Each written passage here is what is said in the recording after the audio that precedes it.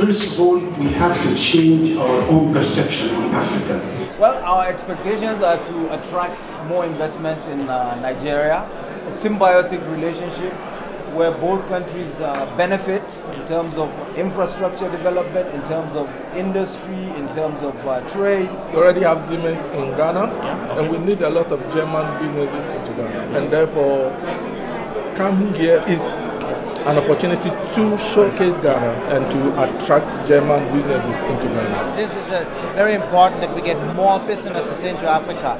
And this will have to build up industry there. And for sure, we need skilled labor there. So this is a win-win situation for all of us. Die grundsätzliche Idee war einfach, mehr Wirtschaft nach Afrika zu bringen und den Unternehmen eine Plattform zu bieten, dass sie mit Botschaftern und mit der Politik ins Gespräch kommen können. Netzwerke zu bilden, neue Bekanntschaften zu schließen. It's essential, so it takes two to tango.